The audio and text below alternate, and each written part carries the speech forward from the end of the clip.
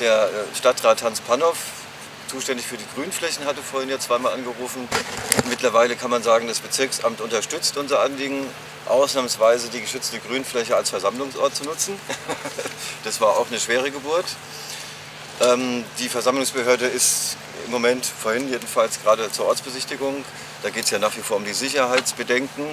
Aber ich denke mal, äh, dass wir werden das natürlich dann auf unserer Webseite so früh wie möglich dann ähm, veröffentlichen, ob wir klagen müssen oder ob da jetzt sozusagen äh, eine Genehmigung ausgesprochen wird. Wir sind ja im Gespräch mit der Polizei. Wir haben ja auch immer wieder betont, dass es drei Zu- und Abgänge gibt, also über die Nachbargrundstücke Oststrand und hier zum Jaben. Also dass es eigentlich äh, von daher keine Panikszenarien gibt, weil drei Zugänge sind, glaube ich, völlig ausreichend für so einen großen Stadtbereich. Ähm, ja, also wir sehen da auf jeden Fall äh, gute Chancen, dass wir nicht klagen müssen gegen die Entscheidung. Wie viel Quadratmeter hat das Gelände? 20.000. Also man hat 10 Quadratmeter pro Demonstrant, ja, wenn man die absolute Zahl annimmt. Ich glaube, das sind nicht Duisburger Verhältnisse, also das müsste reichen. Damit ist einerseits die Örtlichkeit gemeint, dass man in dieser Grünfläche, sage ich mal, demonstriert und, äh, und ähm, auf der anderen Seite auch, sage ich mal, dieses ähm, kiezkulturelle, ähm, diesen kiezkulturellen Ansatz der dezentralen äh, Bespielung und auch der offenen Bühne.